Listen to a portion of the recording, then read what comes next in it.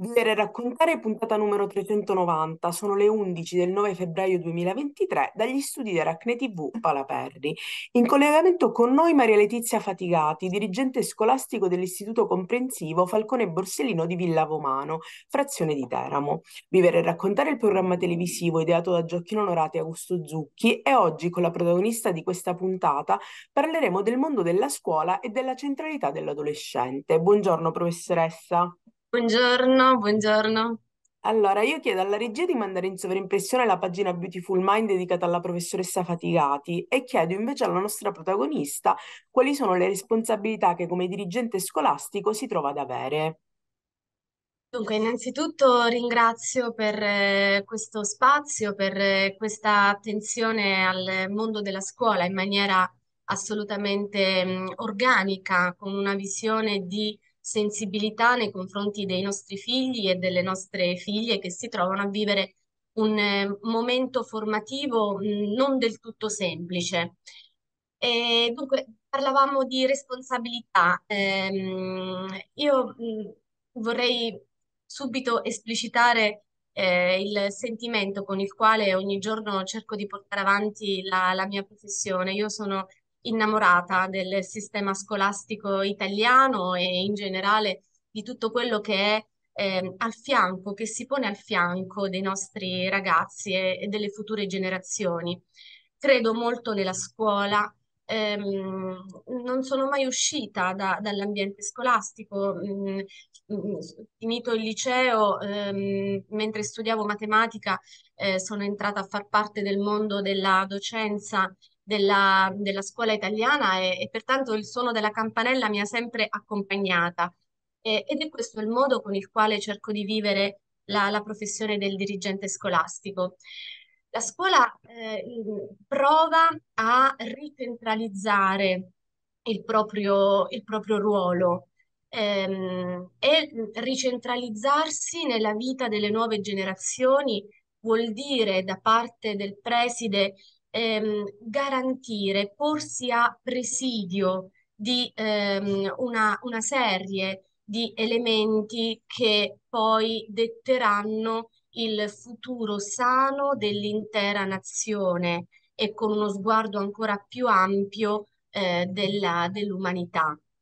Parlo della formazione alla cittadinanza, parlo di una scuola incentrata sul dialogo, sulle relazioni, sulle esperienze da offrire quotidianamente ai nostri studenti una scuola che riesca ad accogliere e, ad, e ad uscire dal proprio ambiente educativo per poter portare eh, gli studenti a vivere eh, la realtà scolastica in osmosi con la realtà circostante. Parlo di diritto allo studio, parlo del recupero delle situazioni di disagio, parlo di non lasciare nessuno indietro. Mm, ogni docente, ogni volta che apro un collegio, soprattutto all'inizio dell'anno scolastico, mm, mi rapporto molto con, con i miei docenti e cerchiamo di trovare tutte le strategie affinché ehm, ciascun docente possa portare in vetta ogni proprio studente.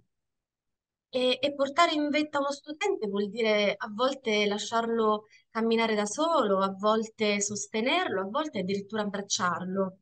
E, e quindi in questo modo, eh, ecco, il carico di responsabilità che io mi sento è proprio quello di poter garantire a ciascun ragazzo e ragazza lo sviluppo di quella eh, etica, di quella moralità, di quella energia eh, personale che poi da potenziale possa trasformarsi nella cinetica della vita. Certo, e quali sono i problemi maggiori che affronta e quali sono le possibili soluzioni? Beh, le, le problematiche sono, sono tante. Ehm, nello specifico del nostro istituto comprensivo, forse la difficoltà è, è legata alla, eh, alle dinamiche delle aree interne e periferiche della città di Teramo.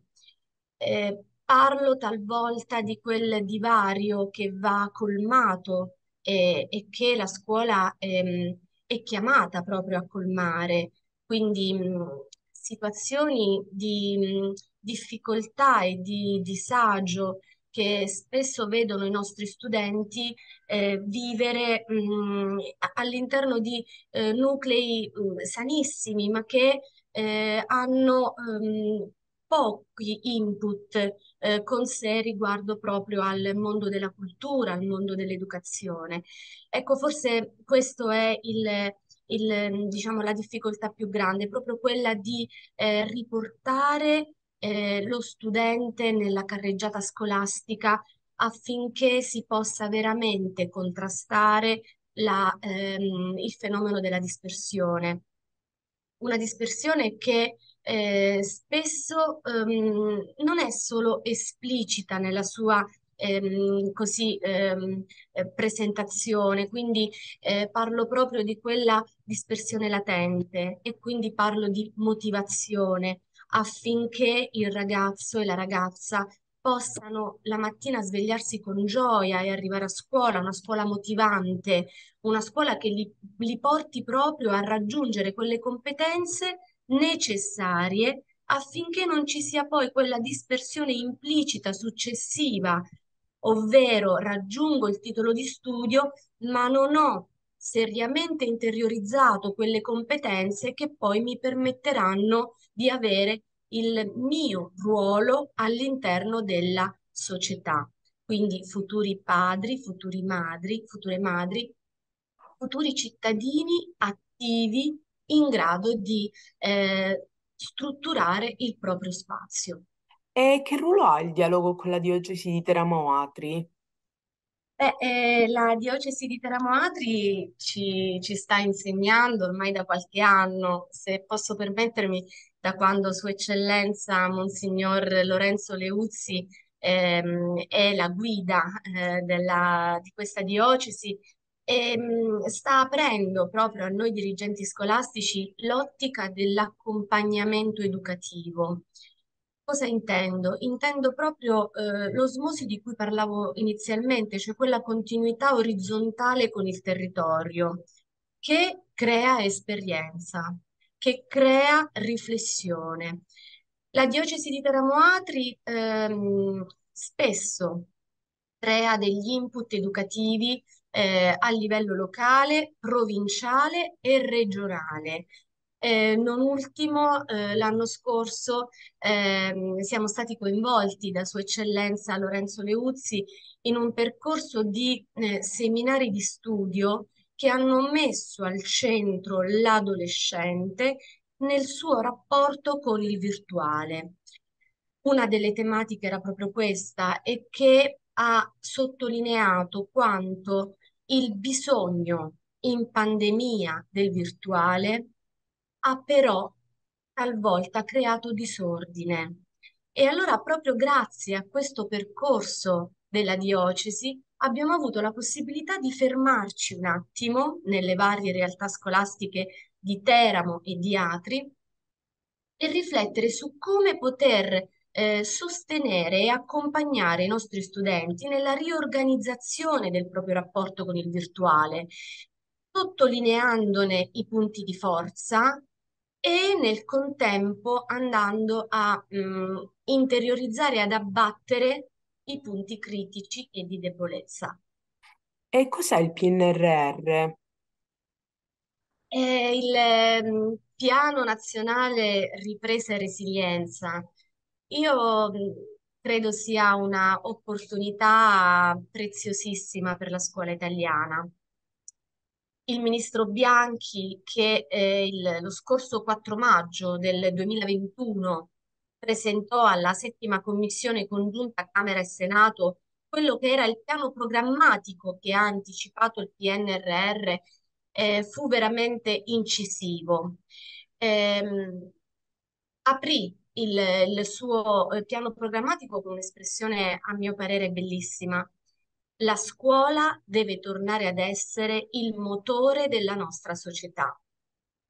E per far questo il PNRR ha stanziato importanti finanziamenti che rendono la scuola la strategia principale di ehm, rinascita, di ripresa e di resilienza per l'intera nazione italiana. Parliamo di eh, diritto allo studio e quindi abbattimento di quelle che sono le tre principali disuguaglianze.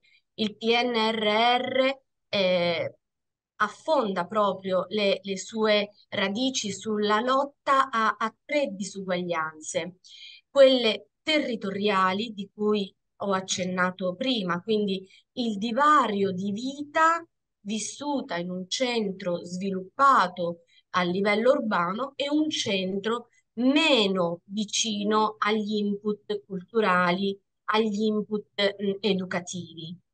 Divari territoriali, accanto a questi eh, il, PNR, il PNRR si pone al, al, a lottare, quindi al contrasto al, alle disuguaglianze intergenerazionali, quindi cercando di abbattere il gap che c'è tra le nuove generazioni e i più adulti, riscoprendo quella che è l'importanza fondamentale per i nostri figli di eh, conoscere, scoprire, interiorizzare quella che è la storia del proprio vissuto, per poterla poi portare nel proprio futuro. E nel contempo avvicinare l'adulto a quelle che sono le dinamiche ehm, eh, anche di mercato, anche produttive della eh, società attuale. E la terza disuguaglianza che il PNRR eh, si pone eh, come obiettivo da, da, diciamo, da, da contrastare è quella di genere. E, e proprio qui mi permetto di eh, sottolineare quanto sia importante eh, anche su questo punto il ruolo della scuola. Eh, il, la linea di finanziamento del PNRR che abbiamo appena, noi presidi stiamo eh, sviluppando progettualmente, è proprio lo sviluppo dell'ambiente educativo 4.0. Un ambiente educativo che ponga la donna insieme all'uomo protagonisti di una vita strutturata tecnologicamente e, e, e quindi avvicinare il più possibile anche la, la, figura femminile a quelle che sono le STEM, quindi lo studio della, delle scienze, della tecnologia, dell'ingegneria, dell'arte, della matematica.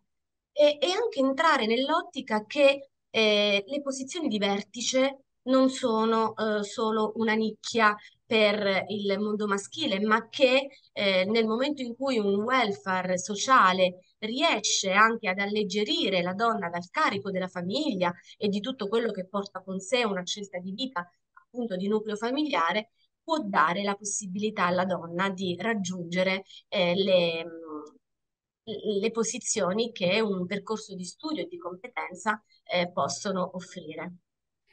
Io la ringrazio per essere stata con noi, professoressa Fatigati. Sono io che ringrazio voi, eh, spero di, di, essere stata così ehm, capace di, di, di trasferire eh, a chi ci ascolta eh, quanto la scuola ha bisogno di essere sostenuta nel, nel ricostruire il proprio ruolo di priorità nella vita dei nostri figli. Eh, una scuola che non sottrae del tempo, ma lo aggiunge insieme allo sport, alla chiesa, a, alle passioni di vita, alla musica, tutto quello che messo come in un grande puzzle va a creare il futuro di democrazia, il, il futuro di benessere per i nostri ragazzi. Ehm, vorrei chiudere con una riflessione proprio di Sua Eccellenza Leuzzi, ehm, la carità intellettuale. Ecco, eh, ho fatto tesoro di questo pilastro e in ogni mia firma cerco di racchiudere questo insediamento.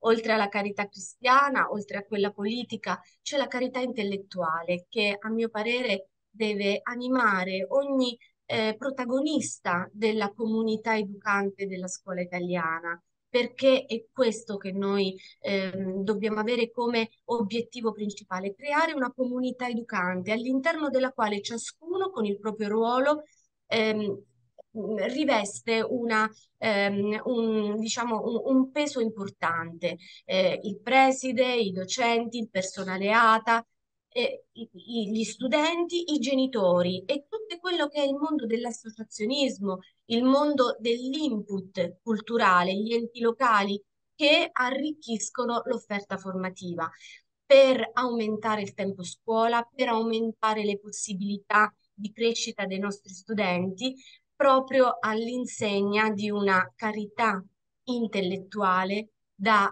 avere in ogni nostra pagina di scuola quotidiana.